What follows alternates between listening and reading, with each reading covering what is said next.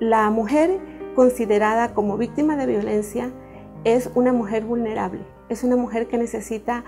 ser atendida, ser apoyada y sobre todo una mujer que requiere ejercer sus propios derechos, porque de cierta manera está privada del el ejercicio del goce, de su libertad, de ser oprimida para poder ser una mujer más realizada, más completa, segura que pueda tener aportes a la sociedad y también con la capacidad de educar y mantener a su propia familia.